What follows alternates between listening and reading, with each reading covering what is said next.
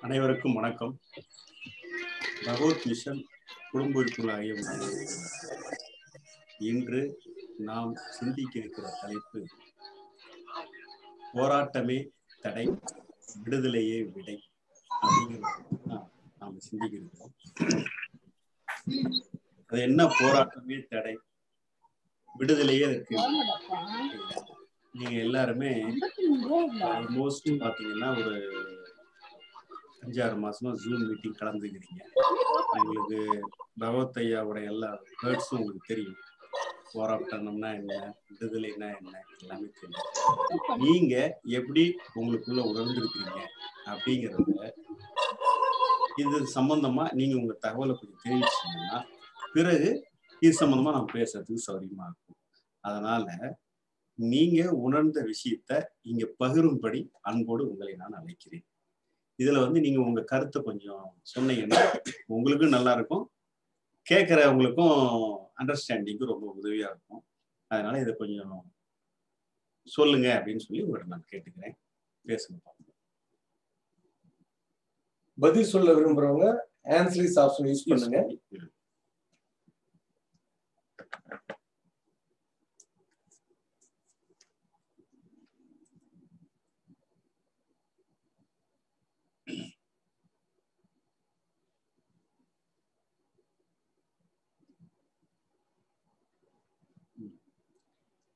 இன்றைய தலைப்பு பற்றி பதில் சொல்ல விரும்புறவங்க ஆன்சரிஸ் ஆப்ஷன் யூஸ் பண்ணுங்க.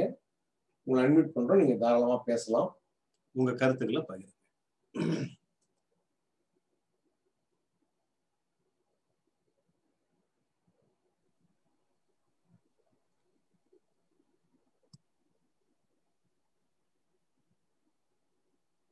இது நமக்குள்ள நம்ம பேசிக்கலாம் பாஸ்கர் அரக்கோணம் வந்திருக்கீங்க. உங்களை நான் அன்மிட் பண்றேன்.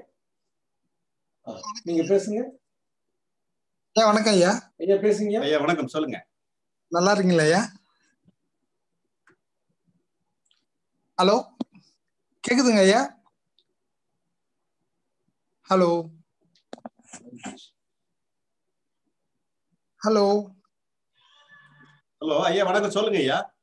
ஐயா கேட்கலீங்க ஐயா நான் நான் பேசின்னு தான் இருக்கேங்க ஐயா. இப்ப- இப்பதான் கேக்குது. சொல்லுங்க ஐயா. சொல்லுங்க. ஆ. ஆம், போராட்டம்ன்றதுங்க ஐயா நம்ம மனதுல ஆஹ், சூழ்நிலைக்கு ஏற்ப நம்ம இயல்புக்கு ஏற்ப உணர்வுகள் நமக்கு ஏற்பட்டுக்கினே இருக்கு.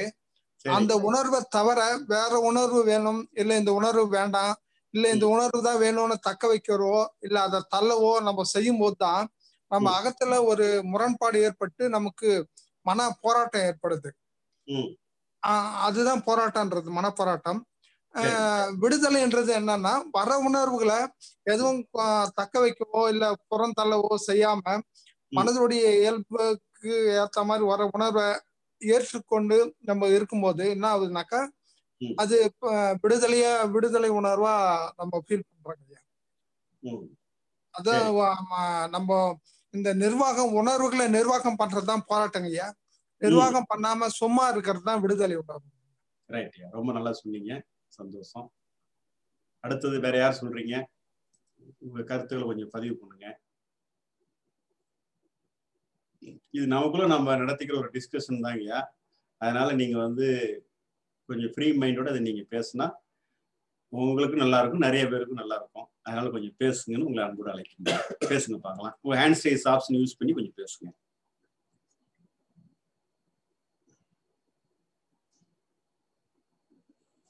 வேற யாரும் கருத்து சொல்ல விரும்பலையா?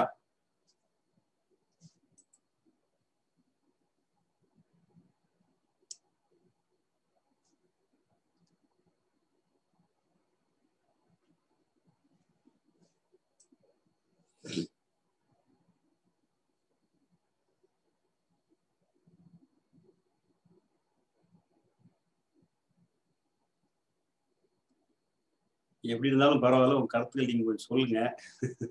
லக்ஷ்மண் வந்திருக்காங்க. ஐயா உங்களை அட்மிட் பண்ணிருக்கீங்கயா நீங்க பேசலாம்.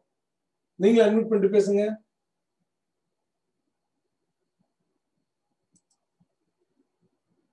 லக்ஷ்மண் ஐயா? ஆ பேசுங்க. ஐயா வணக்கம். சொல்லுங்க ஐயா. வணக்கம் முதல்ல பேசினாங்கல்ல அவர் பேசினதை அப்படியே வழிமுறைகிறது தான் என்னுடைய பதில். அப்படியா? ஆமா. ரொம்ப சந்தோஷம்.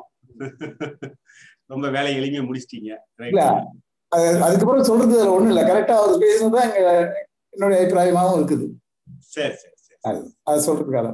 நன்றி. ரைட் ரைட்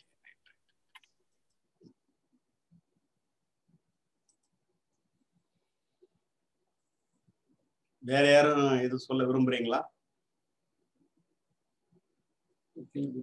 சரி. சரி நேரா நம்ம இப்ப நம்ம என்னன்றது நம்ம ஐடியா பிரகாரம் நான் என்ன உணர்ந்திருக்கிறேன் அப்படிங்கறத உங்ககிட்ட ஷேர் பண்ணிக்க விரும்புறேன். போராட்டமே தடை விடுதலையே விடை அப்படின்னு நம்ம சொல்றோம். அதாவது முதல்ல வந்து மனசு எப்படி செயல்படுதுன்னு தெரியணும் விடுதலைனா என்னன்னு தெரியணும் போராட்டம் எங்க ஏற்படுது அப்படிங்கிறது தெரியணும் இது மூணும் நமக்கு தெளிவா புரிஞ்சுதுன்னா நம்மளால இது ஈஸியா எப்படிங்கிறத ஹேண்டில் பண்றது ரொம்ப ஈஸியா இருக்கும். அதாவது விடுதலையோட இயங்கக்கூடிய மனதின் இயக்கத்துல நமது அறிவு ஏற்படுத்தும் போராட்டம் தான் அனைத்து பிரச்சனைகளுக்குமே மூல காரணம். இப்போ நம்மகிட்ட எல்லாருக்கிட்டையுமே மனம்ங்கிற கருவி இருக்குது. இயற்கை கொடுத்திருக்கிற மாபெரும் குடை தான் இந்த மனம் என்ற கருவி. இந்த கருவியினால தான் நாம் வந்து எல்லா வேலைகளையும் செய்துக்கிட்டு இருக்கிறோம். நம்ம அறிவை வச்சு இந்த கருவியை குறை காண்றதுதான் ஒட்டுமொத்த பிரச்சனையே. அதனால என்ன சொல்றேன் அப்படின்னா இயற்கை கொடுத்துருக்கிற மனம் கருவியை நம்ம குறை காண வேண்டிய அவசியமே இல்லை. அது எப்பயுமே நமக்கு வந்து உதவி செய்யறது தான் வந்திருக்குதோ தவிர நம்மளை டிஸ்டர்ப் பண்றதுக்கு ஒருபோதும் இல்லை அப்படிங்கிறத முதல்ல தெளிவா நம்ம புரிஞ்சுக்கிட்டா போதும். மனம் எப்படி செயல்படுது? மனதோட செயல்பாடு எப்படி இருக்குது அப்படின்னு பார்த்தீங்கன்னா ஒரு ஆறு எப்படி ஓடுதோ அப்படிதாங்க மனம் செயல்படுது. இப்போ உதாரணத்துக்கு பார்க்கணும் அப்படின்னு கேட்டிங்கன்னா இப்போ பக்கமாக தான் வந்து தாமிரபரணி ஆறை பார்க்குற ஒரு சூழ்நிலை இருந்தது அங்கே பார்த்தீங்கன்னா ஹெவி ரெயின் கிட்டத்தட்ட தரைப்பாலத்தை கடந்து தண்ணி ஓடிக்கிட்டு இருந்துச்சு. கிட்டத்தட்ட எத்தனையோ வருஷத்துக்கு அப்புறம் இப்போ திரும்ப அந்த மாதிரி ஒரு மழைப்பொழிவு நடந்து ஓடுது. இப்ப அது அப்படி ஓடுறது அடுத்த நாள் பாத்தீங்கன்னா அதுல பாதியா வடிஞ்சிருச்சு. இது வந்து மழை இல்லாத காலங்கள்ல பாத்தீங்கன்னா அந்த ஆத்துக்கு நடுவுல கொஞ்சூண்டா தண்ணி ஓடிட்டு ஆக என்னன்னு பாத்தீங்கன்னா அந்த ஃப்ளோ அப்படின்றது இருந்துகிட்டே இருக்கும். அதாவது அதிகமா வந்தா ரெண்டு கரையும் பிச்சுட்டு ஓடும். அடுத்து எவ்வளவு இருக்குதோ வர்றதுக்கு தகுந்த மாதிரி அது பாட்டுக்கு ஆனா ஃப்ளோ வந்து இருந்துகிட்டே இருக்கும். அது மாதிரி நம்ம மனசு வந்து சந்திக்கிற சூழ்நிலைக்கு ஏற்ப நமக்குள்ள ஏதோ ஒரு எண்ண உணர்வுகளை சதா வெளிப்படுத்தி கொண்டே இருக்கும். அது வந்து கோபமா இருக்கலாம் பயமா இருக்கலாம் வெறுப்பா இருக்கலாம் கவலையா இருக்கலாம் இன்பமா இருக்கலாம் மகிழ்ச்சியா இருக்கலாம் என்னவா கூட இருக்கலாம். நாம சந்திக்கிற சூழ்நிலைக்கு ஏற்ப நமக்குள்ள ஏதோ ஒரு எண்ண உணர்வை வெளிப்படுத்தும். ஓகேங்களா? இப்ப பாம்பை கண்டா பயத்தை ஏற்படுத்தும். நண்பர்களை கண்டா மகிழ்ச்சியை ஏற்படுத்தும். இந்த மாதிரி நாம சந்திக்கிற சூழ்நிலை என்னவோ அதுக்கு தக்கன ஏதோ ஒரு எண்ண உணர்வை வெளிப்படுத்திட்டு ஓகேங்களா? பொதுவா மனசு எப்படி செயல்படுது அப்படின்னு பாத்தீங்கன்னா மனம் இரண்டு வகையில் செயல்படுகிறது. ஒண்ணு வந்து தாமாக நடைபெறுகிற இயக்கம். இன்னொன்னு நாம செயல்படுகிற இயக்கம். இப்போ வந்து மனம் வந்து எப்பவுமே நேச்சுரலா தானாதான் செயல்படுது. அதுல எந்த அதனுடைய இயக்கமே இயற்கையின் இயக்கங்கிறது தானா செயல்படுறது தான் நாமளா செயல்படுறதுங்கிறது அறிவு பகுதியை பயன்படுத்துறது ஒண்ணுதான் நாமளா செயல்படுத்துறது அப்படிங்கிறது. இந்த மனசு எப்படி செயல்படுது அப்படிங்கிறத நாம் வந்து ஒரு ட்ரெயின் கதையின் மூலியமா கூட நம்மளால புரிஞ்சுக்கலாம். அதாவது என்ன அப்படின்னு சொல்லி கேட்டிங்கன்னா இப்போ ஒரு அப்பாவும் பையனும் சென்னையில் ஒரு எலக்ட்ரிக் ட்ரெயினில் உட்காடுறாங்க பையன் என்ன பண்ணுறான் அப்பா ட்ரெயின் எப்பப்பா போகும்? அப்படின்னு வந்து அப்பாவை தொடர்ந்து நச்சரிச்சுக்கிட்டே இருக்கான். அப்பா என்ன சொல்கிறாரு கொஞ்ச நேரம் கேட்டுட்டு சரி நீ வேணா ட்ரெயினை தள்ளு. ட்ரெயின் போகும். அப்படின்னு சொல்கிறாரு பையன் என்ன பண்ணுறான் சீட்டுக்கு பின்னாடி வச்சுக்கிட்டு தள்ளுறான். அப்போ பார்த்து ட்ரெயின் ஸ்டார்ட் ஆகிடுது ட்ரெயின் போகுது. அடுத்த ஸ்டேஷன் வருது. ஒரு நிமிஷம் நிறுத்தப்பா அப்படிங்கிறாரு. பையன் கை எடுத்துக்கிறான். ட்ரெயின் நிற்கிது ஓ இது வந்து எக்மோர் ஆட் இருக்குது. ரைட்டு சரி இப்போ அடுத்தது தள்ளுங்கிறாரு. இது வந்து சிக் பேட்டு அப்படின்னு சொல்லிட்டு வரிசையாக ரெண்டு மூணு ஸ்டாப்பிங் சொல்லிட்டு பேசிக்கிட்டு இருக்கும்போதே அப்பாவுக்கு ஒரு ஃபோன் வந்துடுது அவர் ஃபோன் எடுத்துட்டு பேச போயிடுறாரு. பையன் வந்து தள்ளுறதா நிறுத்துறதாங்கிறது அவனுக்கு தெரியல.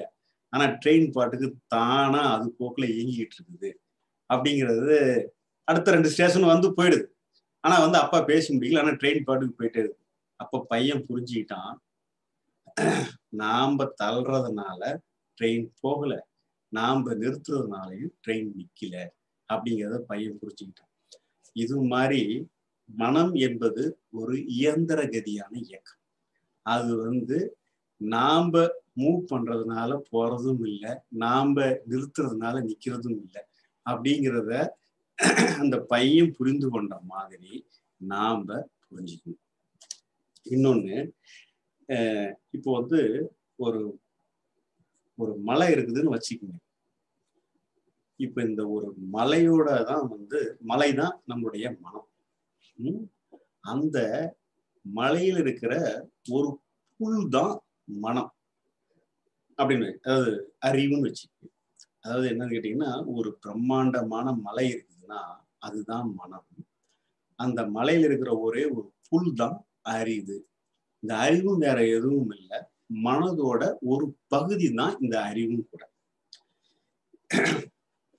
அதாவது நீங்க நல்லா யோசிச்சு பார்த்தீங்கன்னா தாமா நடைபெறுகிற இயக்கம் ஒண்ணு சொல்றோம். நாமா செய்யற இயக்கம். இது ரெண்டுமே நம்மளால பிரிச்சு உணர்ந்துக்க முடியும். இப்ப நாமளா செய்யறதுங்கிறது என்னன்னு கேட்டீங்கன்னா நாம காத்தால முழிச்சதுல இருந்து இரவு படுக்கிற வரையிலுக்கும் அறிவை பயன்படுத்தி செய்யறோம் பார்த்தீங்களா இது வந்து நாம செய்யக்கூடிய இயக்கம். ஓகேங்களா? தானாக நடைபெறுகிற இயக்கங்கிறது என்னன்னு கேட்டீங்கன்னா நம்ம கட்டுப்பாட்டுல எதுவும் இல்லாம நேச்சுரலா இயங்குது பாருங்க. அது வந்து தானாக நடைபெறுகிற இந்த தானாக நடைபெறுகிற இயக்கம் தான் எப்பவும் நடந்துகிட்டு இருக்குது நம்மளா செய்யற இயக்கங்கிறது வந்து நம்ம செயலுக்கு எது தேவையோ அதுக்கு யூஸ் பண்ணிக்கிறது தான் நம்மளா செய்யற இயக்கம். மற்றபடி நம்முடைய மேஜரா முழுக்க முழுக்க இருக்கிறதே தானா நடக்கிற இயக்கம் தான் நாம செயல் எதுவும் வேணும்னா அதுக்கு செய்துக்கிறதுக்கு ஒண்ணுதான். இந்த நாமா செய்யற இயக்கத்தை நம்ம பயன்படுத்திக்கிறோம். அப்போ மனதின் ஒரு சிறு பகுதியான அறிவு மனதையே நிர்வாகம் பண்ணலாம்னு நினைக்கிறது தான் ஒட்டுமொத்த பிரச்சனைக்கும் மூல காரணம். இப்போ அறிவுங்கிறது ஒரு சிறு பகுதின்னு சொன்னோம் இந்த அறிவு என்ன பண்றது? மனம் வெளிப்படுத்துகிற என்ன உணர்வுகள் தனக்கே ஏற்பட்டதா நினைச்சுக்கிட்டு மிகப்பெரிய போராட்டத்தை உருவாக்கிறது. அதாவது இப்போ மன நம்ம வந்து மனசுல ஒரு பகுதி தான் அறிவு அப்படின்னு பார்த்துட்டோம். இப்ப நாம வந்து சிறு வயதுல இருந்தே நீங்க பாத்தீங்கன்னாக்க சிறு வயதுல நம்ம வந்து இன்னசன்ட் ஸ்டேட் அப்படின்னு சொல்லுவோம். கள்ளங்கபடமற்ற ஒரு விடுதலை உணர்வோட தான் நம்ம வந்து இயங்கிட்டு இருக்கோம். அப்புறம் நாளாக நாளாகத்தான் அறிவு பகுதியை பயன்படுத்தி நமக்கு தேவையான வேலைகளை செய்துக்கிறதுக்கு நம்ம பயன்படுத்திக்கிறோம். பிறகு அதை வச்சு தான் நீங்கள் வந்து ஸ்விம்மிங் கற்றுக்கிறது பைக் ஓட்டுறது கார் ஓட்டுறது இது எல்லாமே பார்த்தீங்கன்னா உங்கள் அறிவை பயன்படுத்தி தான் நீங்கள் கற்றுக்கிறீங்க ஈவன் பாடம் படிக்கிறது. இப்படி எல்லா நம்மளா நம்மளா செய்துக்கிற அத்தனை வேலைக்குமே அறிவை பயன்படுத்தி தான் செய்யறோம். இதுல வந்து நாம வந்து சில லக்ஸுரியல் என்ஜாய்மெண்ட் எல்லாம் ஆனதுனால அதனால என்ன நினைக்கிறோம்? இதே மாதிரி நம்ம மனசு வெளிப்படுத்துற உணர்வு நம்ம அறிவுக்கு பிடிக்கிறது இல்லை அது என்ன பண்ணுது? இவ்வளோ நாம நல்ல சொபிசிகேஷனா மகிழ்ச்சியா இருக்கிற நாம இந்த மனசையும் கண்ட்ரோல் பண்ணிட்டா அதையும் நம்ம கட்டுக்குள்ள கொண்டு வந்துட்டா இன்னும் ரிலாக்ஸா மகிழ்ச்சியா இருக்கலாம் தானே அப்படின்னு சொல்லிட்டு அறிவு ஒரு முயற்சி பண்ண தொடங்கிடுது. அந்த முயற்சி தான் பிரச்சனைக்கான மூல காரணம். இப்ப நீங்க வந்து பள்ளிக்கூடம் நம்ம படிக்கிறோம்னு வச்சுக்கோங்க. சரியா படிக்கல. பய உணர்வு வருது. நாம பய உணர்வை சரி பண்றோமா? இல்ல பாடம் படிக்கிறோமா? வந்த பய உணர்வை பயன்படுத்தி பாடம் படிக்கிறோம். இப்போ வந்து டிராவலிங் போறோம்னா ஒரு டிராவல் நம்ம பண்ணலாம்னு வச்சுக்கோங்க. கார்ல ஏர் செக் சரியா இருக்குதா? ஆர்சி புக் இருக்குதா? எல்லாம் என்னென்ன பக்காவா செக் பண்ணணுமோ அதெல்லாம் செக் பண்ணிக்கிறதுங்கிறது வந்து என்னன்னு கேட்டீங்கன்னா அந்த டிராவலை நமக்கு வந்து ஏதோ ஒன்று சிக்கலை மாட்டிக்கிட்டா என்ன பண்றதுங்கிற வர்ற எண்ணம் தான் இதெல்லாம் செக் பண்றதுக்கான ஒரு ஆதாரமா இருக்கு. அதனால என்னன்னு கேட்டீங்கன்னா மனம் வெளிப்படுத்துகிற எண்ண உணர்வுகளை குறைகாணவே தேவையில்லை. அது எப்படி கூட வெளிப்படுத்தலாம். எந்த மாதிரியான உணர்வை வெளி வெளிப்படுத்தலாம்? எந்த மாதிரி அதை மனசுல வந்து நல்லது கெட்டது தப்பு ரைட்டு அப்படிங்கிறதெல்லாம் எதுவுமே கிடையாது. அது வந்து ஒரு சூழ்நிலையை சந்திச்சிருதுன்னா அதுக்கு ஏதோ ஒரு எண்ண உணர்வு வெளிப்படுத்தும். இவ்வளவுதான் சிம்பிளா அதுல எந்த இதுவுமே கிடையாது. நமக்கு செயல் எதுவும் வேணும் அப்படின்னா நாம வந்து அறிவை பயன்படுத்தி செஞ்சுக்கலாம். மற்றபடி வந்து நமக்கு ஏற்பட்ட மன உணர்வையே நாம வந்து வரக்கூடாது சரி பண்ணிடணும் அப்படின்னு நினைக்கிறது தான் மிகப்பெரிய பிரச்சனையில போய் முடியுது. நம்முடைய ஒட்டுமொத்த பிரச்சனைக்குமே காரணம் இந்த அறிவோட டாமினேஷன் வந்து மனசையே கண்ட்ரோல்ல எடுக்கிறது தான் ஒட்டுமொத்த பிரச்சனையா இருக்கு. இப்போ வந்து இது வந்து இன்னும் ஒரு ஸ்டோரி கூட உங்களுக்கு சொன்னா ஈஸியா விளங்குறதுக்கு உதவியா இருக்கும்னு நினைக்கிறேன். ரமணர் சொன்ன கதை தான். ஒரு பயணி இருக்கிறாரு. அவர் வந்து இந்த பக்கம் ஒரு பேக்கு இந்த பக்கம் ஒரு பேக்கு முதுகுல ஒரு பேக்கு மூணு பேக்கையும் எடுத்துக்கிட்டு ட்ரெயின்ல ஏறுறாரு. ட்ரெயின்ல ஏறினவர் ட்ரெயின்ல ஏறி அந்த பேக்கு கீழேயே வைக்கல. சுமந்துக்கிட்டே இருக்கிறாரு. ஒருத்தர் சொல்றாரு ட்ரெயின்ல இறக்கி வச்சிடலாம்ப்பா ஒன்றும் பிரச்சனை இல்லைப்பா. ட்ரெயினை வந்து தனியா இழுத்துட்டு வரதில்ல எல்லாத்தையும் ஒட்டுக்கா தான் இழுத்துட்டு வரோம் அப்படின்னு சொல்றாரு. அவர் இல்லை இல்லை ட்ரெயின் நான் வந்து வெயிட் கொடுக்க விரும்பல. அதனால நானே சுமந்துக்கிட்டு இருக்கிறேன் அப்படின்னு அவர் சொல்றாரு. அப்ப அவர் எவ்வளவு சொல்லியும் கேட்கலாம் ரெண்டாவது அவருக்கு புரியுறபடி சொல்றாரு? நீ எவ்வளவு கிலோ இருப்ப? அப்படின்னு சொல்றாரு. நான் ஒரு எழுபத்தஞ்சு கிலோ இருப்பேன். சரி இந்த மூணு பேக்கும் சேர்ந்து என்னவா இருக்கும்? அப்படிங்கிறாரு. ஒரு ஐம்பது கிலோ இருக்கும். அப்படின்றாரு. இப்ப நீ மூணையும் சுமந்துக்கிட்டு இருந்தாலும் ட்ரெயினுக்கு அதே ஐம்பது பிளஸ் எழுபத்தஞ்சு நூத்தி இருபத்தஞ்சு கிலோ தான். இதே நீ கீழே இறக்கி வச்சிருந்தாலும் ட்ரெயின் சுமக்கிறது நூத்தி இருபத்தஞ்சு கிலோ தான். என்னன்னா நீ கீழே இறக்கி வச்சுட்டுனா நீ ஃப்ரீயா இருக்கலாம். சுமந்துகிட்டு இருந்தீங்கன்னா நீ டென்ஷனா வெயிட்டை சுமந்துட்டு நீ கஷ்டப்படலாம். நீ வந்து கீழே இறக்கி வைக்கிறியா? சுமந்துட்டு இருக்கிறியாங்கிறத நீ தான் முடிவு பண்ணணும் அப்படின்னு சொல்றாரு. அப்பதான் அவருக்கு புரியுது. ஓஹோ இது அப்படின்னு சொல்லி புரிஞ்ச உடனே என்ன பண்றாரு? ட்ரெயின் தன்னுடைய சுமைகளை இறக்கி வச்சுட்டு பயணத்தை எளிமையா எதிர்கொள்றாரு. நண்பர்களே இது மாதிரி தான் இதுல வர்ற ட்ரெயின் தான் நம்மளுடைய மனசு. பயணி தான் நம்மளுடைய அறிவு பகுதி. லக்கேஜஸ் அப்படிங்கிறது தான் நம்முடைய எண்ணங்களும் உணர்வுகளும். நாம் என்ன பண்றோம்? இதுல வந்து ட்ரெயின் புரிஞ்சுக்கணுமா? பயணியாகிய நாம் புரிஞ்சுக்கணுமா? யோசிக்கணும்.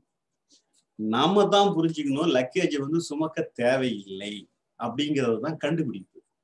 இல்லை லக்கேஜை நம்ம சுமந்துகிட்டு இருக்க வேண்டிய அவசியம் இல்லை அப்படின்னு தெரிஞ்சுக்கிட்டோம்னா தேவையில்லாம லக்கேஜை வந்து வெயிட்டை சுமந்துக்கிட்டே நம்ம கஷ்டப்பட வேண்டிய எந்த அவசியமும் இல்லை. அதனால என்ன சொல்றீங்களா? லக்கேஜ் கீழே எடுக்க வச்சுட்டு நாம் இருக்கும்போது நம்ம வந்து ரொம்ப தளர்வா ஃப்ரீயா இருக்கலாம். எந்த வெயிட்டும் சுமக்காம நாம இருக்கும்போது என்ன இருக்கும் அப்படின்னு கேட்டீங்கன்னா நம்மளால எளிமையா டிராவல் பண்ண முடியும். எந்த ப்ராப்ளம் இருக்காது ஈஸியா இருக்கும்.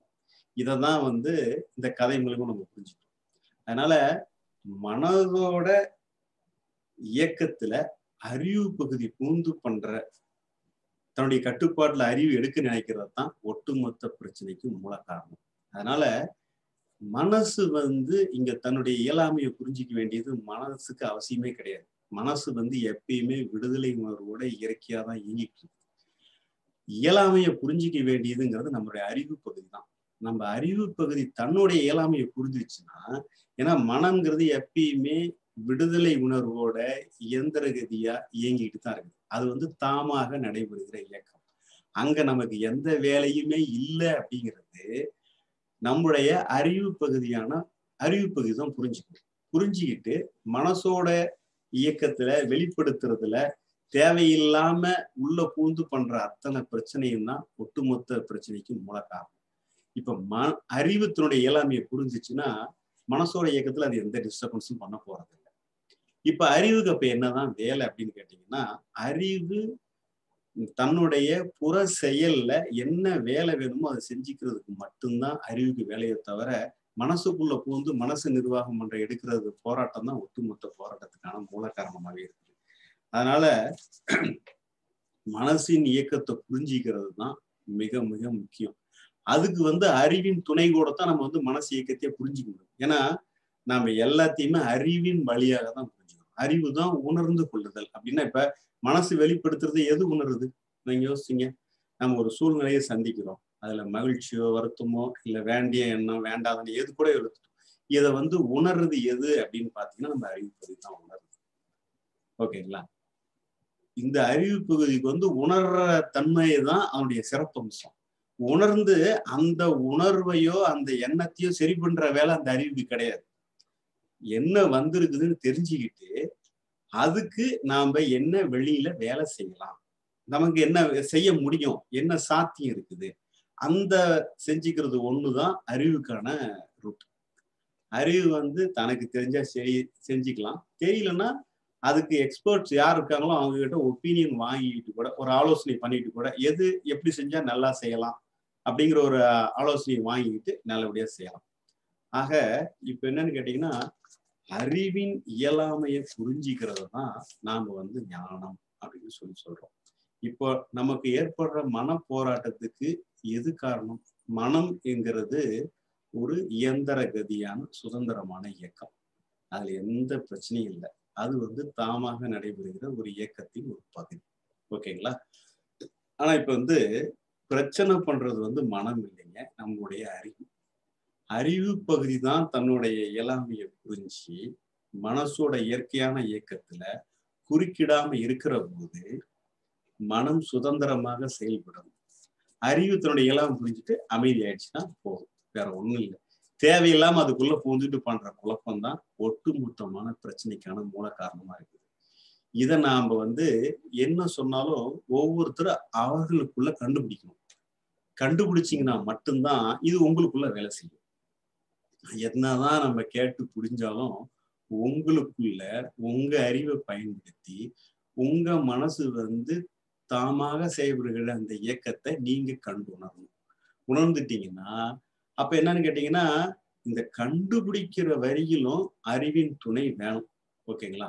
கண்டுபிடிச்சதுக்கு அப்புறம் மன இயக்கத்துல அறிவுக்கு எந்த வேலையுமே இல்லைன்னு முடிச்சு டிக்ளேர் பண்ணி வெளியே வந்துடும் அதுக்கப்புறமும் ஏதாவது ஒரு ட்ரை பண்ணோம்னா விடுதலை இயக்கத்துக்கு நம்ம அறிவு தான் தொடர்ந்து தடையா இருக்குது. அதாவது அதுதான் சொல்லுவாங்க.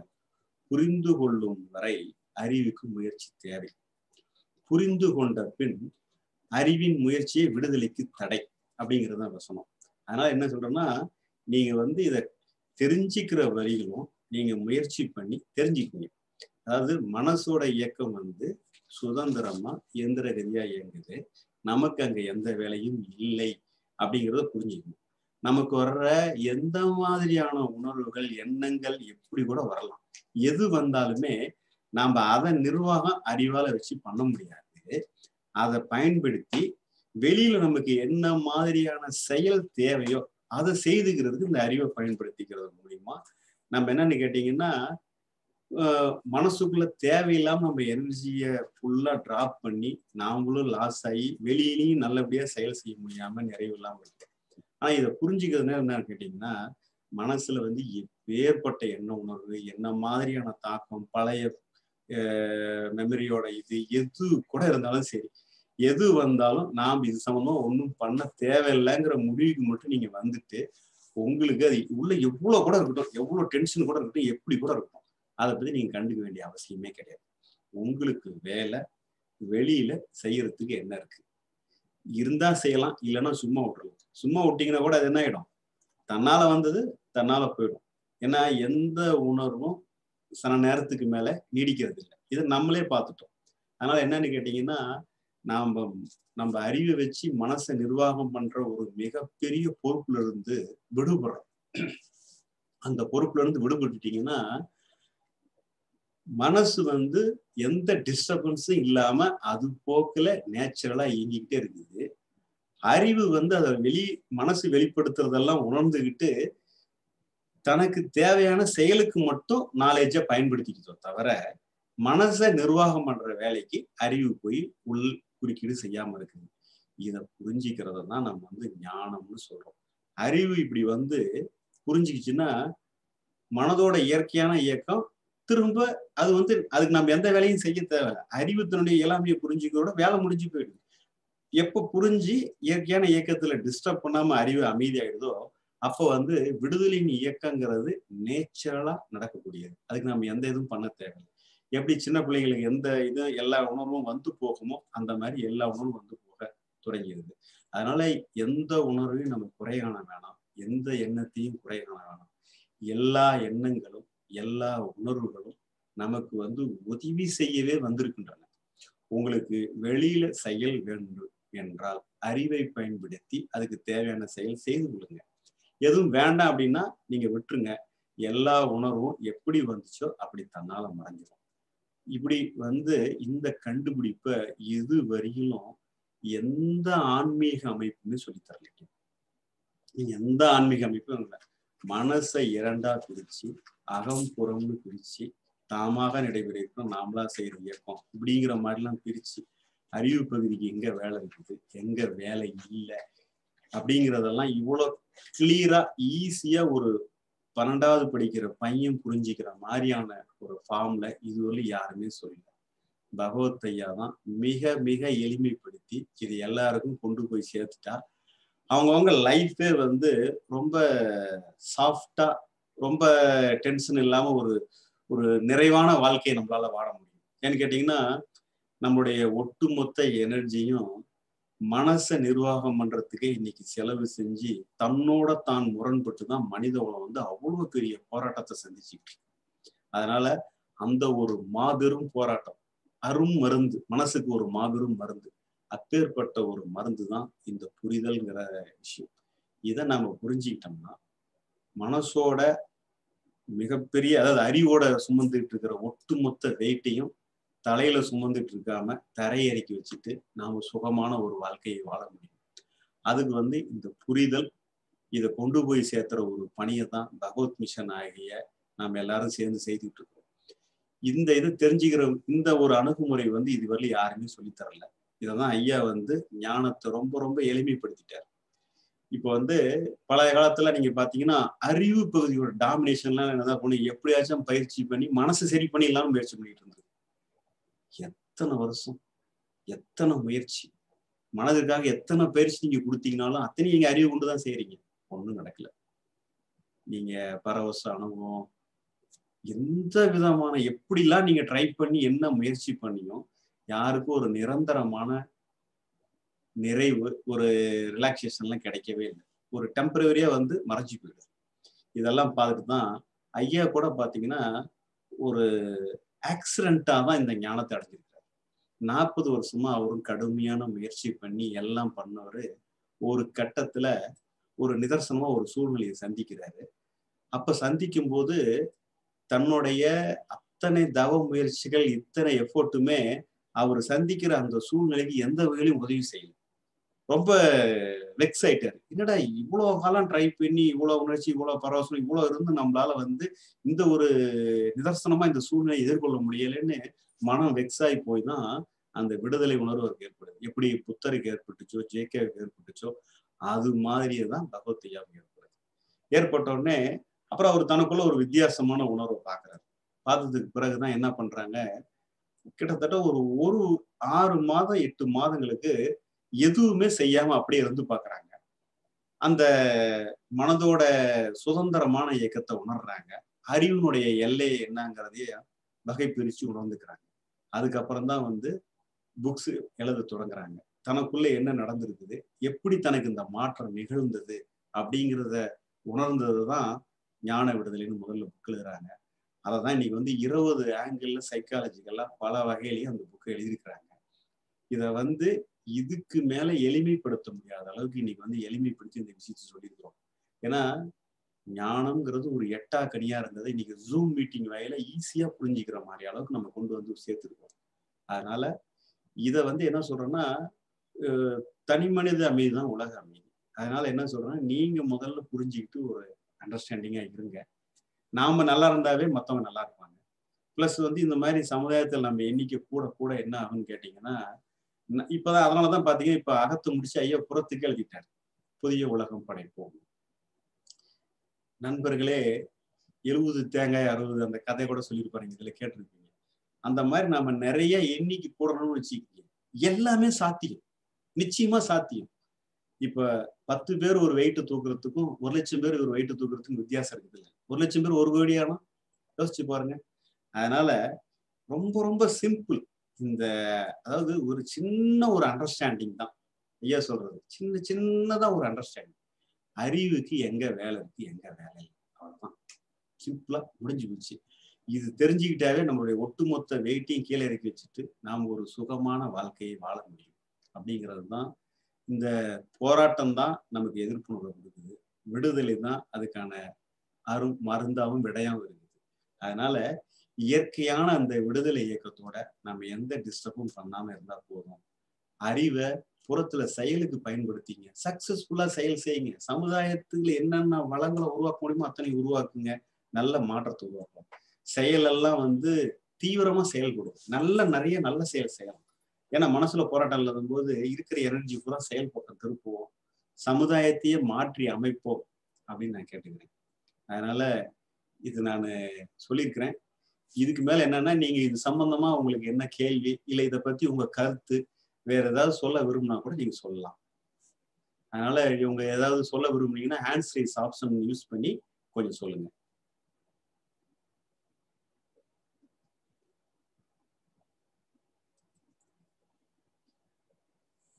வெங்கடேஷன் குரு உங்களை அட்மிட் பண்ணிருக்கு நீங்களும் அட்மிட் பண்ணிட்டு பேசுங்க. ஹலோ ஐயா வணக்கம் சார் கேக்குதுங்களா?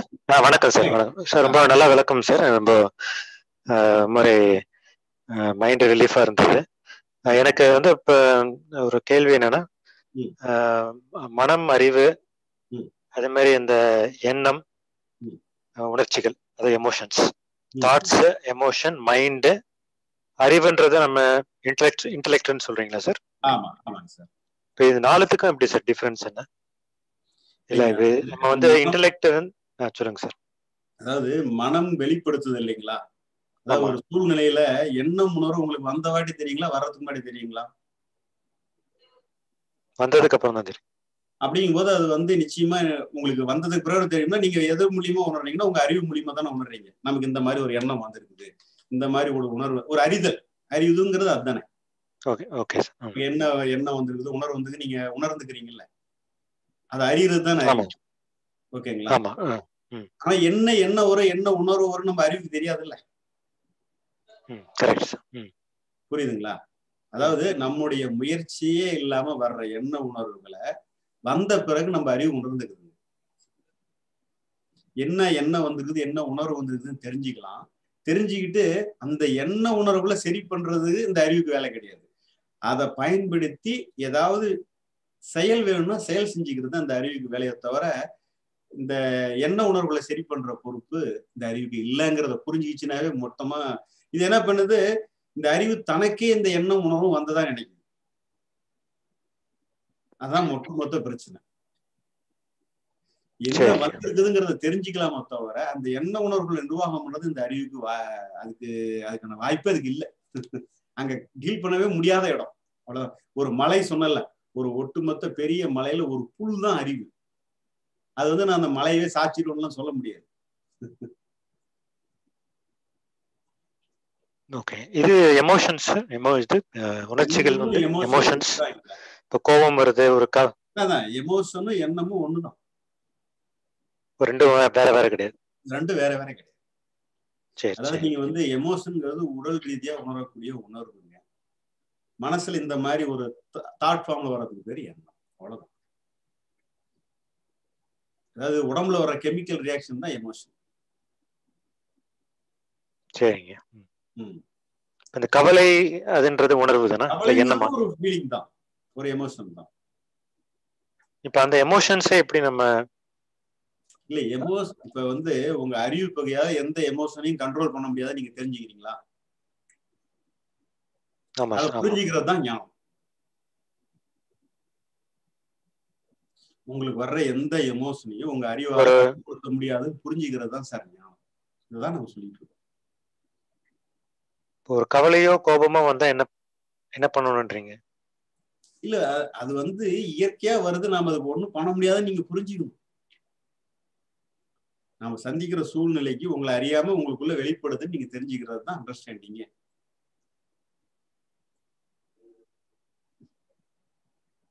எதிரியை பார்த்தா உங்களுக்கு கோவம் வருது. நண்பரை பார்த்தா மகிழ்ச்சியான உணர்வு வருது. இல்லையா? ஆமா ஆமாங்க. இப்ப வந்து நீங்க மனசுக்கு வந்து இப்ப வந்து கோவத்தை வெளிப்படுத்தி இப்ப மகிழ்ச்சி வெளிப்படுத்தி நீங்க தான் சொல்ல முடியுமா? சொல்ல முடியாது. வெளிப்பட்ட வாட்டி அது என்ன நீங்க தெரிஞ்சுக்கலாம். கரெக்ட்டுங்களா? இப்ப நண்பரை. பாக்குறீங்க மகிழ்ச்சி உணர்வு வருது. எதிரியை பாக்குறீங்க வெறுப்புணர்ச்சி வருது. இல்ல பயம் கூட வரலாம். என்ன கூட வரலாம்னு வச்சுங்க இப்ப வந்து பயத்தை நம்ம நிர்வாகம் பண்ண வேண்டிய பொறுப்பு கிடையாது நம்ம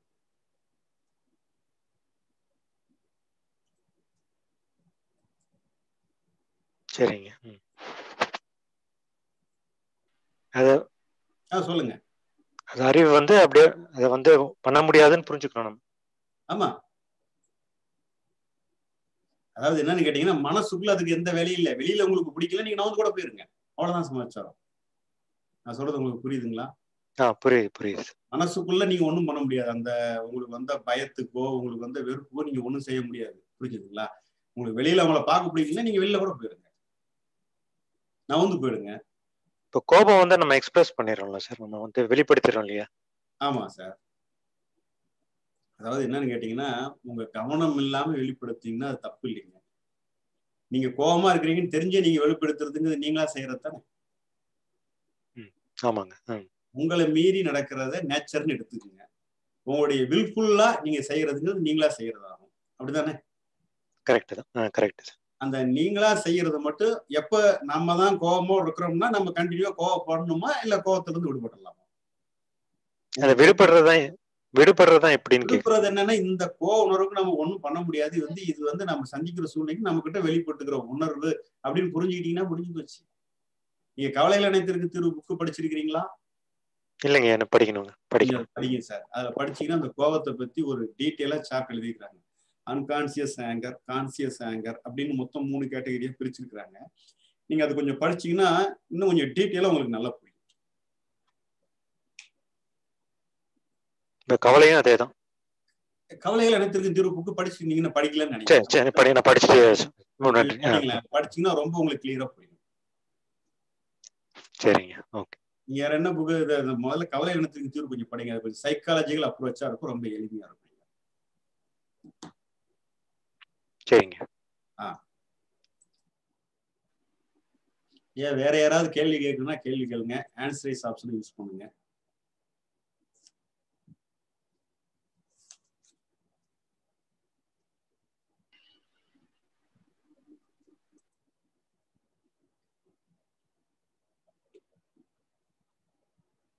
வேற யாராவது ஏதாவது கொஸ்டின் கேக்குறீங்களா?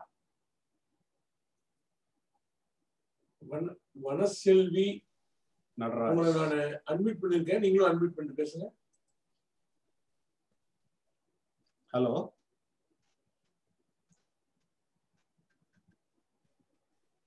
ஹலோ அம்மா சொல்லுங்க. வணக்கம் சார் அம்மா வணக்கம் சொல்லுங்கம்மா. ஐயா வணக்கம். வணக்கம் வணக்கம் சொல்லுங்க எண்ணம் மனம் அறிவு.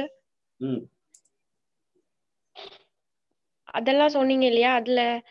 எது அதிக வலிமை வாய்ந்தது? என்னம்மா? மனம் எண்ணம் அறிவு உணர்வு அப்படிலாம் சொ நாலு கேட்டகரியா சொன்னீங்கல்ல அதுல எது. வலிமை? எல்லாமே மனசோட ஒரு பகுதி தான் நம்ம புரிஞ்சுக்கிறதுக்கு தான் பிரிச்சு சொல்றோம். எல்லாமே மனசு தான். நாம வந்து எளிமையா விளங்கிக்கிறதுக்கு தான் பேர் வெவ்வேறு சொல்றோமோ தவிர ஒரு இருக்கிறது ஒரே மனசு தான். நம்ம ஈஸியா அண்டர்ஸ்டாண்ட் பண்ணிக்கிறது. நீங்க எதோ புக்கு படிச்சிருக்கீங்களா எதுவும் படிக்கலையா? இல்ல எதுவும் படிக்கல. அதான். நீங்க வந்து ஃபர்ஸ்ட் இந்த ஞான விடுதலை கவலை இனத்திற்கும் தீர்வு அப்படிங்கிற புக்கு கொஞ்சம் படிங்கம்மா. ஏன்னா ஃபர்ஸ்ட் அது வந்து ஒரு ஃபண்டமெண்டலா இருக்கும். தாட்னா என்ன திங்கிங்னா என்ன ரெண்டுக்கான வேறுபாடு என்னங்கிறதெல்லாம் நீங்க கொஞ்சம் தெரிஞ்சுக்கணுமா தெரிஞ்சுக்கிட்டாதான் இது வந்து நம்ம வந்து சொல்றது கொஞ்சம் எளிமையா புரியும். சரிங்க. கொஞ்சம் படிங்களேன். படிச்சுட்டு வந்தீங்கன்னா ரொம்ப யூஸ்ஃபுல்லா இருக்கும். உங்களுக்கு நல்லா இருக்கும் இன்னும் கொஞ்சம் நல்லா இருக்கும் வேற ஒண்ணும் இல்ல. அதான் சொல்றேன். சரிங்க சார் ஆ நல்லதும்மா.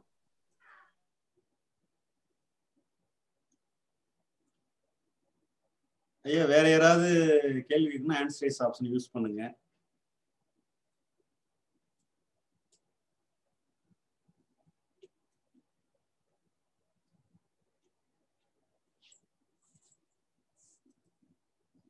வெங்கடேஷன் குரு உங்களை நான் அட்மிட் பண்ணியிருக்கோம். நீங்க பேசுங்க. நீங்களும் அட்மிட் பண்ணிட்டு பேசுங்க. ஹலோ ஆ, ஐயா வணக்கம். சார் கேக்குதா? ஆ சார். சார் இப்போ பிரெயின் மனசுங்க மைண்டு பிரெயின் ரெண்டும் ஒன்று தானே சார் பிரெயின் தானே தாட்ஸ் வந்து? ஆ, ஆமா ஆமா. ரெண்டும் ஒண்ணுதான். ஓகே இப்போ அந்த இந்த மனசுல வந்து நான் அந்த மனசை பயன்படுத்திக்கணும். அறி அறிவுங்கிற அறிவுங்கிறதும் எல்லாம் ஒன்று தானே சார்? அறிவு மனசு எல்லாம் ஒன்று தானே இதுவுமே மனசோட ஒரு பகுதி தான் அறிவுன்றது மனசோட ஒரு பகுதி தான் ஆமா. அது வந்து மெமரி பேட்டர்ன்ஸ் எல்லாம் வச்சிருக்குது. உங்களுக்கு வந்து அறிவோட ஒர்க் என்னன்னு கேட்டீங்கன்னா மனசை சரி பண்றதோ நிர்வாகம் பண்றது இல்ல இப்ப வந்து வந்திருக்கிற உணர்வு எண்ணங்களை வச்சுக்கிட்டு வெளியில என்ன செயல் நமக்கு தேவையோ அதுக்கான செயலை எக்ஸிக்யூட் பண்ணிக்கிறது தான் அறிவோட ஒர்க் பட் அறிவும் மனசோட ஒரு பகுதி தான் ஆமா. ஆமா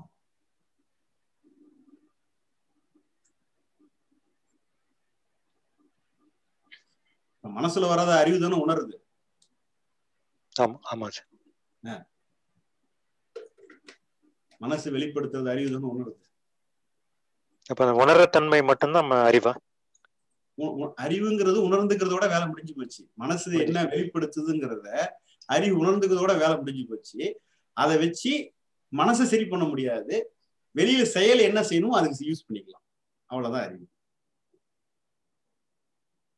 இதுக்கும் பிரெயினுக்கும் என்ன சம்பந்தம்? என்னங்க? இந்த அறிவுக்கும் அதாவது நீங்க எதுவும் புக்கு படிச்சிருக்கீங்களா? இன்னும் படிக்கலையா?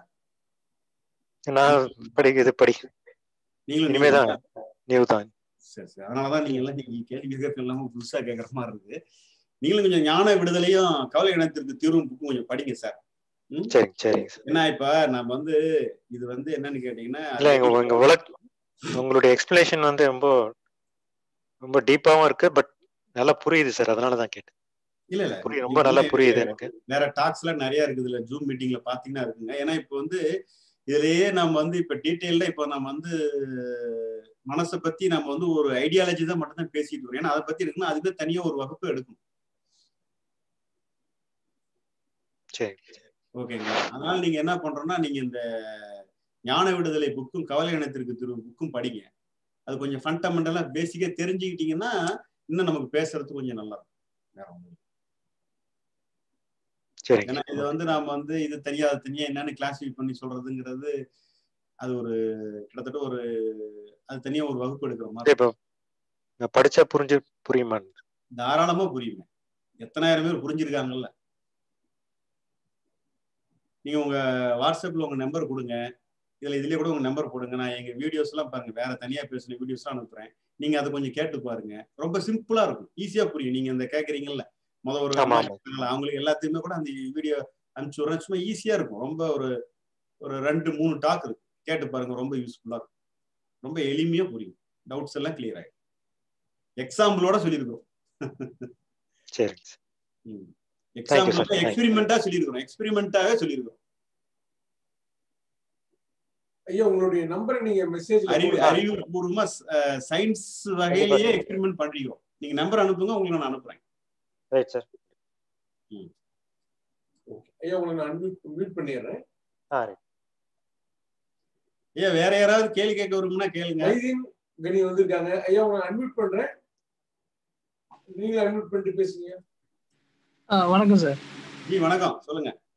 நான் நல்லா இருக்கீங்களா? பார்த்து ரொம்ப நல்லா நாள் ஆகுது? ஆமா நல்லா இருக்கு நல்லா இருக்கு இந்த அறிவுன்னு சொல்றாங்களே சார் அறிவும் ஆ. இப்போ சூழ்நிலை வரும்போது நிறைய தாட்ஸ் எல்லாம் வந்துகிட்டு இருக்கு. பிரச்சனை அந்த மாதிரி சூழ்நிலையில நிறைய தாட்ஸ் எல்லாம் வருது. சரி. இப்போ நம்ம அந்த தாட்டை வந்து நம்ம எதுவும் பண்ண முடியாது. ஓகே இப்போ அறிவு அந்த சமயத்துல வந்து நம்ம அறிவு தான் செகண்ட் தாட்டு தேர்ட் தாட் அதுதான் கொண்டு வந்துகிட்டே இருக்குது. சரி. ஏதாவது தீர்வு கிடைக்காதான்னு சொல்லி தேடுது அறிவு. எங்கேயாவது தீர்வு கிடைக்காதா அப்படின்னு தேடிக்கிட்டு இருக்கு. சரி. ஓகேங்களா இப்போ அந்த அறிவு வந்து மெமரியை ரெஃபர் பண்ணி எடுத்து எடுத்து கொடுக்குது. இப்போ அறிவு வந்து நம்ம சும்மா இரு அப்படின்னு சொன்னா கேக்குமா? நம்ம பேச்ச கேக்குமா? நம்ம மனசை சொல்ல வரல. இப்ப அறிவு அறிவு வந்து நம்ம சும்மா இருக்கணும் அவ்வளவுதான். இப்ப அறிவு நான் இந்த இதுல வந்து சும்மா வந்து நான் கேக்குறது வெளியில செயலை கேக்குறீங்களா? உங்களுக்கு மனசுக்குள்ள இருக்கிற என்ன உணர்வுகளை நிர்வாகம் பண்றதை சொல்றீங்களா? இல்ல சார் உங்க அறிவு நீங்க சொல்றீங்கல்ல உங்க அறிவு பகுதியை வச்சு உங்க. மனசுல வர்ற என்ன உணர்வுகளை நிர்வாகம் பண்றதை சொல்றீங்களா? இல்ல வெளியே செயல் செய்யறத சொல்றீங்களா? இல்ல இப்போ செயல் செய்யனா கூட உங்களுக்கு அந்த எண்ணங்கள் வந்து ஃப்ளோல வந்துகிட்டு தானே இருக்குது. இப்ப அறிவு வந்து அறிவு தானே அந்த இதெல்லாம் செயல்பட்டுக்கிட்டு இருக்கு. அப்படி இல்லையா சார் அறிவு செயல்படுதுன்னா புரியலையே அறிவு வந்து என்ன உணர்வை கொண்டு வர்றது அறிவோட வேலை கிடையாது சார் மனசுல இல்ல சார் இத வந்து எப்படி சொல்லுவாங்கன்னா இப்போ ஐயா வந்து தாட் அண்ட் திங்கிங் சொல்றாங்கல்ல தாட்டுங்கிறது அதுவா வர்றது திங்கிங்கிறது நம்மளா செயல்படுத்துறது அது அப்படிங்கிற மாதிரி மனம். வெளிப்படுத்துறதுக்கு பேரு தாட்டு அறிவு உணர்றதுக்கு பேரு திங்கிங் அப்படி கூட இப்ப அந்த திங்கிங் பார்ட்ல நான் சொல்ல வரேன். இப்ப திங்கிங் நம்ம செயல் தானே?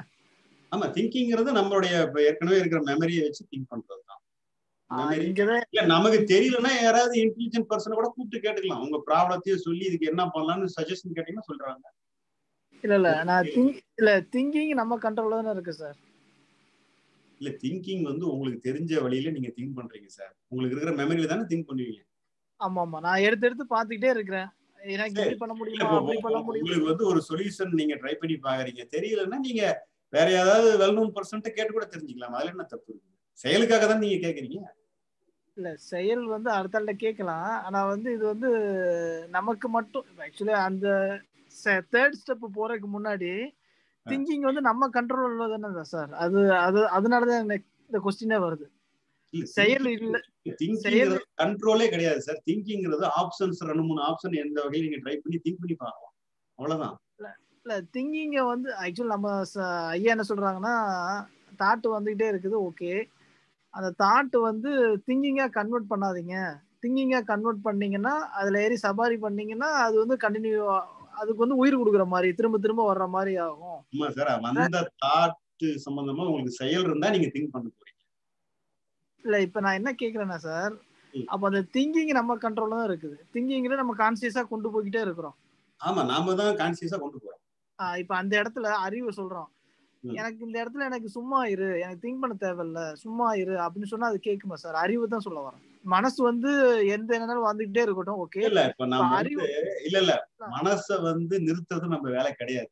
அறிவு தான் இயலாமையை புரிஞ்சுக்கிறது தான் அறிவோட அறிவு இயலாமையை அந்த அந்த அறிவோட இயலாமை தான். அறிவு வந்து திங்கிங்கா கன்வெர்ட் பண்ணி இப்போ ஃபர்ஸ்ட் தா இப்போ ஒரு பத்து தாட்டு வருதுன்னா வச்சுங்க சார் இப்போ. ஐயா சொன்ன மாதிரி ஒரு அரை வினாடி தான் ஒரு உணர்ச்சி வருது. ஒரு தாட்டு எல்லாம் அரை வினாடி தான். அதை அப்படி சரி. மறந்து போய் இந்த மாதிரி அந்த சூழ்நிலைக்கு வந்து நிறைய தாட் வருதுன்னு வச்சுக்கோங்க. ஆனா நம்ம திங்கிங் என்ன பண்றோம்னா நம்மளா அதுல ஏறி சபாரி பண்றோம். சபாரி பண்றோம்னா அதுலயே நம்மள எனக்கு இதுல சொல்யூஷன் வேணுங்கிற மாதிரி நம்ம வந்து நம்ம மெமரி அடிக்கடி ரெஃபர் பண்றோம். நம்ம தான் செய்யறோம். மனசு செய்யல. மனசு வந்து அதுவா வர்றது ஓகே இப்ப நம்மளா கான்சியஸா அதுல ஏறி சபாரி பண்ணி அதுலயே ஏறி அதுலயே நம்ம திங்க் பண்ணிட்டு இருக்கோம். எனக்கு இந்த இப்படி பண்ணலாம் அப்படி பண்ணலாம் அப்படி இப்படி பண்ணலாம்னு சொல்லிட்டு இது அந்த திங்கிங் பேட்டர்ன் சொல்ல வரேன் இப்போ அந்த இடத்துல அறிவிட்ட வந்து நம்ம சொல்றோம். சரி ரொம்ப திங்க் பண்ணியாச்சு. நீ சும்மா இரு. அறிவு சும்மா இரு. அவ்வளவுதான். திங்க் பண்ண வேண்டாங்கிற மாதிரி அறிவு சும்மா இருன்னா அது கேட்குமா சார்? இல்ல இப்ப நாம வந்து ட்ரை பண்ணி பார்த்து எதுவும் நமக்கு ஒரு சொல்யூஷன் கிடைக்கல தானே? திங்க் பண்ணி கிடைக்கல. ஆனா என்னன்னா கிடைக்கும்னு சொல்லி ஒரு இதுல அந்த திங்கிங்க நம்ம கன்வெர்ட் பண்ணிட்டே இருக்கிறோம். ஏதோ ஒண்ணு இருக்குது ஏதோ ஒண்ணு இருக்குன்னு சொல்லி கன்வெர்ட் பண்ணிட்டே இருக்கு நம்மள நம்ம தான் கான்சியஸா பண்ணிக்கிட்டு இருக்கிறோம். அப்படின்னா நீங்க ட்ரை பண்றீங்கன்னு தானே அர்த்தம். ஆமா ட்ரை பண்ணிட்டு இருக்கோம். அது திங்கிங் தானே திங்கிங் தானே பண்றோம். ட்ரை பண்ணிக்கிட்டே சும்மா இருன்னு சொன்னா எப்படி இருக்கும்? விட தெரியல இல்ல. இல்ல அந்த அதான். இப்ப நம்ம அறிவுபூர்வமா முடிவு எடு ஒரு முடிவு எடுத்தோம்னா மனசு கே மனசுல அறிவு கே அறிவு ஒரு முடிவு எடுத்ததுன்னா அத மைண்ட் மனசு ஃபாலோ பண்ணுங்கிற மாதிரி ஐயா சொன்னாங்க. நீங்க ஒரு முடிவு எடுங்க. ஒரு. இக்கட்டான சூழ்நிலை வருதுன்னா நீங்க ஒரு முடிவு எடுங்க. இத வந்து நம்ம தள்ளி போடலாம். அல்லது இத வந்து நம்மளுக்கு தேவையில்லை. ஏதோ ஒரு முடிவு. அந்த சூழ்நிலைக்கு அது தேவைப்பட மாட்டேங்குது இது இந்த இதுல வந்து நம்ம என்ன முயற்சி பண்ணாலும் நடக்காது. அதனால இத இது நமக்கு தேவையில்லைன்னு ஒரு முடிவு எடுக்கணும். அப்படி இல்லைன்னா சரி இது நாள் பட்டு நம்ம இத இத இத சரி பண்ணலாம். கொஞ்ச நாள் வெயிட் பண்ணுவோம். அப்படி வெயிட் பண்ணணும்னு ஒரு முடிவு எடுத்தா இந்த மாதிரி முடிவு எடுக்கிறது அறிவை கொண்டு முடிவு எடுத்தோம்னா செயல்படுங்கிறாங்க. இந்த இடத்துல நான் என்ன சொல்ல வரேன்னா நான் அந்த அறிவு சும்மா இருந்தா சும்மா இருக்குமாங்க மாதிரி கேக்குறேன் சார். வேற சார். நீங்க வந்து நீங்க காத்தால இருந்து சாயந்தரம் ட்ரை பண்ணி பார்த்துட்டீங்க. வேற ஆப்ஷன் இல்ல. ஓகேங்களா? ஒண்ணும் நடக்கல. சரி இப்போதைக்கு வந்து இன்னைக்கு இதை நம்ம தற்காலிகமா இதுல மேல என்ன ட்ரை பண்ணியாச்சு நிறைய. சரி இப்போதைக்கு விடு. ஒரு ரெண்டு நாள் விட்டுட்டு கூட திரும்ப யோசிச்சு பார்க்கலாம்னு சொல்லி ஒரு முடிவு பண்றோமா இல்லையா ஒரு சில விஷயத்துக்கு? முடிவு தெரியாததுக்கு சிலதுக்கு. எல்லாத்துக்கும் முடிவு தெரியும்னு சொல்ல முடியாது. சார் அது முடிவு தெரியாம கூட இருக்குது இல்ல ஆமா சார். அந்த அதைத்தான் நான் சொல்ல வரேன். இப்ப அந்த முடிவு தெரியாத இடத்துல நம்ம அந்த இடத்துல சும்மா இரு எதுக்கு தேவையில்ல அப்படிங்கிற மாதிரி முடிவு சும்மா எடுத்தோம்னா- இருல ஒண்ணு அதான் நமக்கு தான் முடிவு தெரியலங்கிற முடிவுக்கு நம்ம வந்துடணும் அவ்வளவுதான். இல்ல எனக்கு என்ன கான்செப்ட்னா நிறைய ஆன்மீகத்துல சும்மாருன்னு சொல்லியிருக்காங்க. அந்த சும்மாரும் இங்க நம்ம திங்கிங் பேட்டர்ல சார் திங்கிங் பேட்ல சும்மா இரு வேற. ஓகேங்களா? நீங்க மனசுல வர்ற எண்ண உணர்வுகள்ல நிர்வாகம் பண்ணாம இருக்கிறது தான் சும்மா இரு. அது அந்த சும்மா இரு வேற. நீங்க வந்து வெளியில திங்கிங்ல சும்மா இருங்கிறது எப்படி? அப்புறம் எப்படி வேலை நடக்கும்? இல்ல இப்ப அறிவுபூர்வமா எனக்கு ஒரு பத்து ரிசல்ட் வருது. இப்படி அப்படி அப்படி பண்ணலாம் இப்படி பண்ணலாம். நானா திங்க் பண்றேன். இப்ப நீங்க வெளியே ஒர்க் பண்றதுங்கனால ரிசல்ட் கன்ஃபார்மா உங்களுக்கு நினைச்ச மாதிரி தான் வரும்னு சொல்ல முடியாது சார்.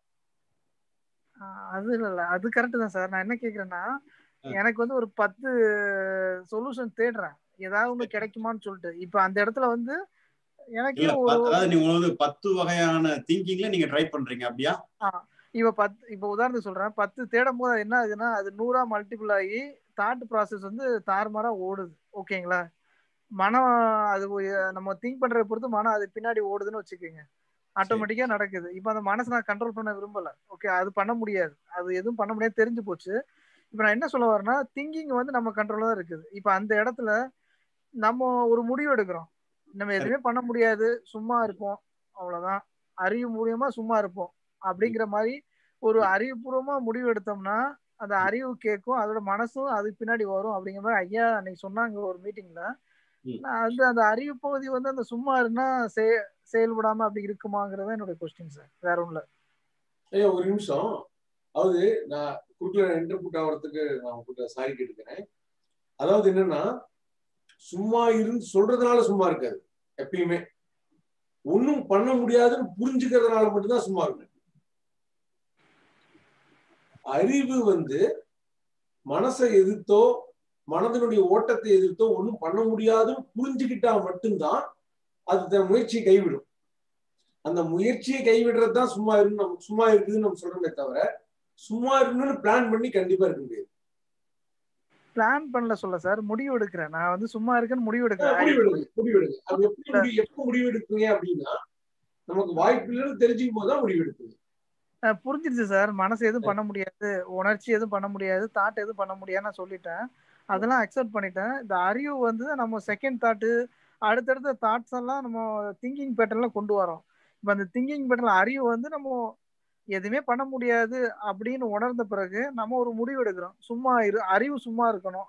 திங்க் பண்ணக்கூடாதுங்கிற மாதிரி ஒரு முடிவு எடுத்தோம்னா இந்த அறிவு செயல்பட்டு மனசா அது எல்லாமே அறிவு பகுதியை மட்டும்தான் சொல்றேன் சார். இப்போ நான்ங்கிறோம் சார். நான்ங்கிற மாதிரி அந்த நான் செயல்படக்கூடிய விதம் தான் அந்த மாதிரி சொல்லிட்டு இருக்கேன் சார். வேற ஒன்றும் இல்லை சார்.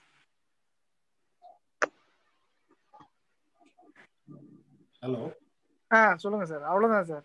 ரொம்ப தேங்க்ஸ் சார். ஆ சரி.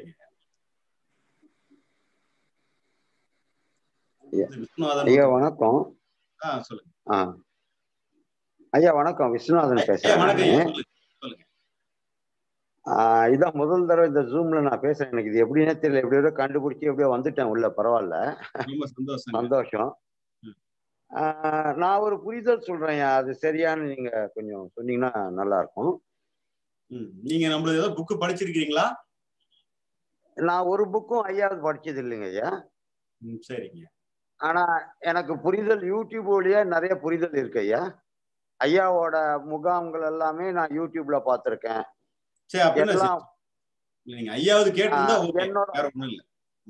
எ- எல்லாமே கேட்டிருக்கேன். நான் ஒரு புரிதல் இருக்கேன் ஐயா. அதை நான் சொல்றேன் இப்போ. சொல்லுங்க சொல்லுங்க. அதாவது ஐயா சந்தோ எனக்கு சந்தோஷமான நிகழ்வுகள் ச- அந்த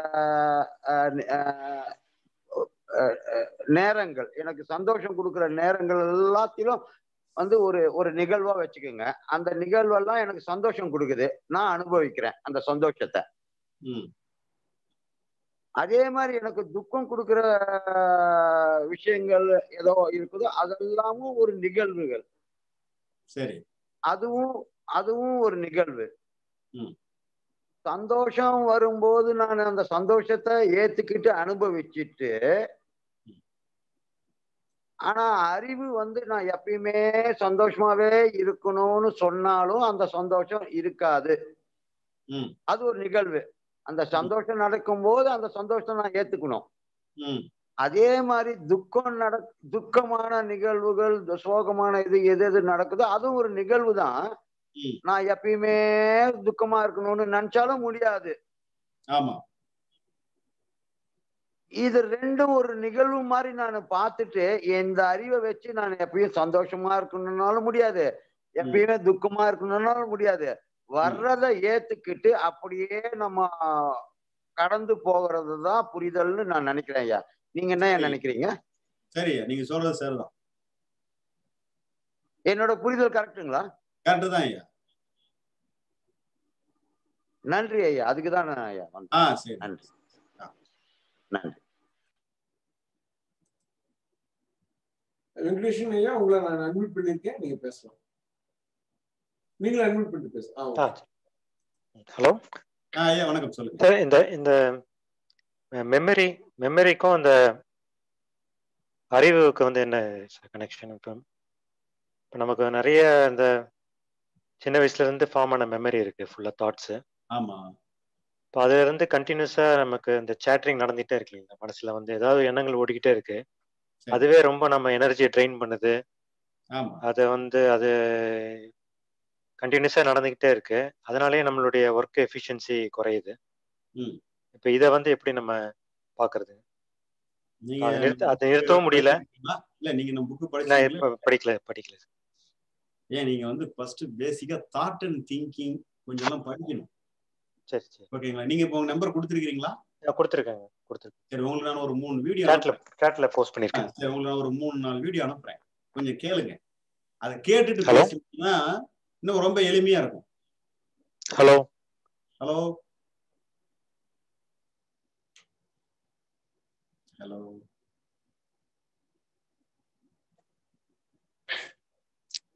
Venkatesan Guru உங்களுக்கு கேக்குதுங்களா?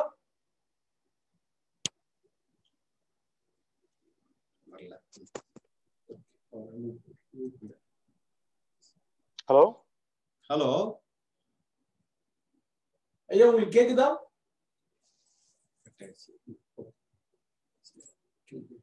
சரி ஐயா வேற ஏதாவது கேள்வி இருந்தா கேளுங்க. இல்லைன்னா நம்ம க்ளோஸ் பண்ணிடலாம்.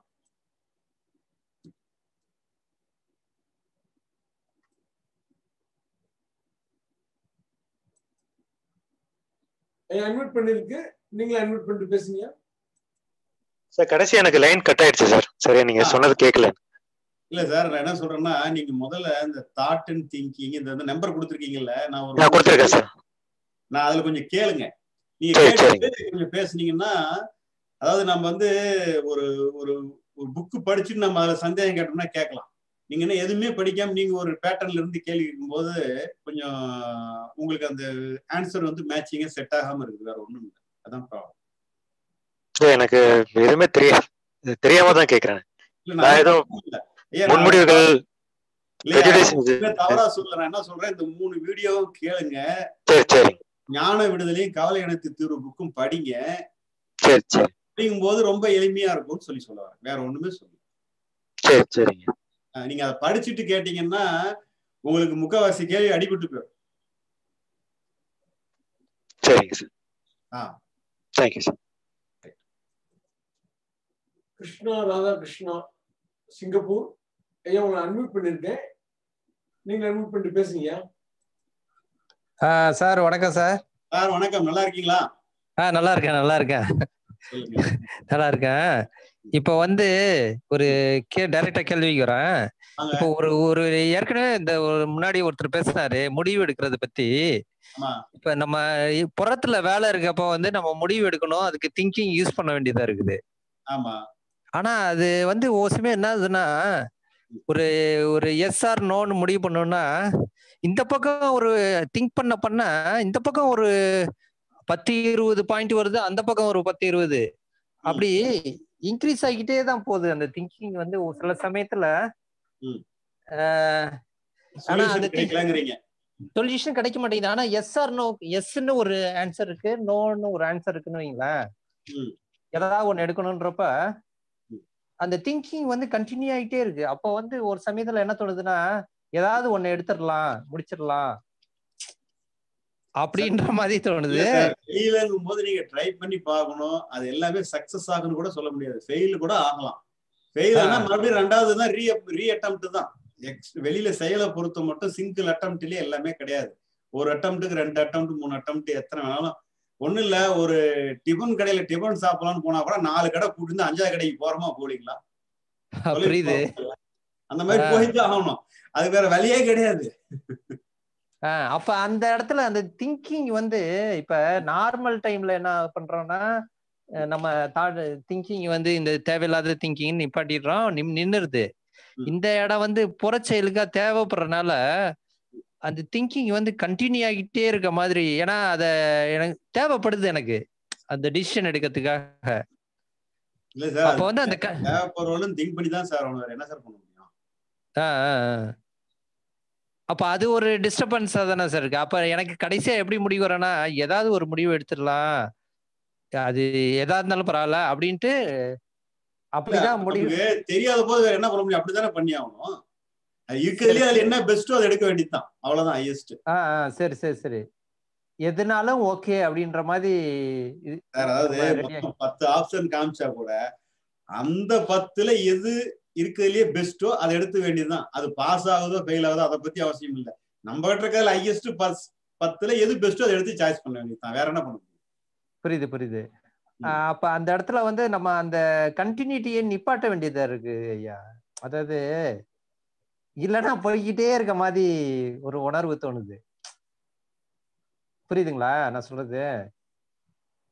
ஆஹ் இது வந்து முடிவு எடுக்க தெரியாததுக்கு தான் நீங்க சொல்றீங்க. ஆமா ஆமா. முடிவு எடுக்க தெரியாதுதான் புரியுது. எடுக்கிற ஐட்டத்துக்கு பிரச்சனை இல்லை. ஏன்னா வெளியே கிளியரா விஷன் தெரியாத போது நான் மட்டும் என்ன பண்ண முடியும்? சொல்லுங்க பார்க்கலாம் ஒரு அனுமானத்துல தான் போக முடியும். இப்படிதாங்கிறது தெளிவா தெரிஞ்சுதான் நீங்க ஈஸியா போயிடலாம். தெரியலும் போது என்ன பண்ண முடியும்? ஒரு அனுமானத்துல தான் போய் ஆகணும். அப்ப அந்த இடத்துல வந்து அனுமானம் ரைட்டாவும் இருக்கலாம் தப்பாவும் இருக்கலாம்.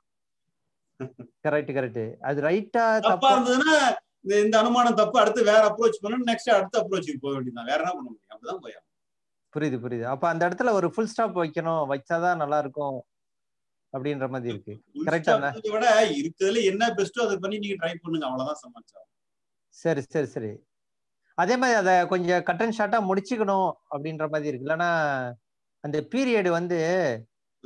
லாங் ஆகிட்டே இருக்க மாதிரி இருக்குது. இல்ல உங்களுக்கு அடுத்த வேலை இல்லைன்னா நீங்க அதை சமமா போயிட்டு இருக்கலாம் வேலை இருந்தா அடுத்த வேலைக்கு போயிடலாம்ல. சரி சரி சரி. புரியுது புரியுதுங்க சார். அடுத்த வேலை இருக்கும்போது ஏன் பிடிச்சிட்டு இருக்க மாட்டீங்கல்ல? ஆ ஆ ஆ. சரி சரி சரி சரி. ரொம்ப நன்றி. ஆ ரைட். ஆ thanks. பிரான்ஸ் மதியழகன் சார் வந்திருக்காங்க. அவங்கள நான் அன்மியூட் பண்றேன். ஐயா நீங்க அன்மியூட் பண்ணி பேசுங்க. ஆ வணக்கம் சரவணன் சார். நல்லா இருக்கீங்களா? ஆ நல்லா இருக்கேங்க. வணக்கம் வணக்கம். ரொம்ப கொஞ்சம் காரசாரமா போகுது. நான் கடைசியா வந்தேன் நானு. இந்த தாட்டு திங்கிங்ல வந்து கொஞ்சம் குழப்பம் ஆகிற மாதிரி இருந்தது எனக்கு எனக்கும் கொஞ்சம் அவங்க பேசுறதுல குழப்பம் ஆயிட்டே இருந்தது இப்ப இப்ப ஒரு கடைசியா ஒரு ராதாகிருஷ்ணன் கேட்ட கேள்விக்கு. அந்த முடிவெடுக்க முடியாத சமயத்துல சமயத்துல அந்த மாதிரி சுச்சுவேஷன் வருது அது. வரலன்னா சொல்ல முடியாது. அப்போ அப்ப அந்த வர்ற சமயம் வந்து அது திங்கிங் தானே. திங்கிங்னா பாருங்க அந்த அது அந்த வேர்டே வந்து பர்சன்ட் கண்டினியூஸ் டென்ஸ் தான் அது. திங்கிங்னா தொடர்ந்துட்டு தான் இருக்கு. அப்ப நம்ம வந்து முடிக்கலன்னு அர்த்தம். அதை எஸ்ஆர் நோன்னு சொல்றாரு. எஸ்ஆர் நோன்னா எஸ் இல்ல ஆர் நோன்னு எஸ் நோன்னு இருக்கு ஏதாச்சும் ஒண்ணுல தான் இருக்கணும். எஸ் அண்டு நோன்னு ஆயிடுது. எஸ் அண்டு நோன்ல இருந்ததுன்னா அது திங்கிங் தான். அது தாட்டா வராது. எஸ் ஆர் நோன்னு வரும்போது தாட் ஆயிடும். அப்ப எஸ் அண்டு நோன்னு வரும்போது அது திங்கிங் ஆகுதுன்ட்டு எனக்கு புரிஞ்சுக்கிறேன்னு வச்சுங்களேன். அப்போ வந்து நம்ம அந்த ஒரு முடிவுக்கு வந்துட்டோம்னா அதை தாட்டாக்கி நம்ம விட்டுறலாம். இப்ப தாட்டுன்னு பாத்தீங்கன்னா அது நடந்தது அது. திங்க்னு சொல்ல மாட்டாங்க.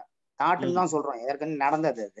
அப்போ ஒரு முடிவுக்கு வந்துடுறோம் நம்ம. அது ஜீவமணி சார் சொன்ன மாதிரி இது தப்பா இருந்தாலும் சரி சரியா இருந்தா சரியா இருந்தாலும் ஏதோ ஒரு முடிவுக்கு வந்துடுறோம்.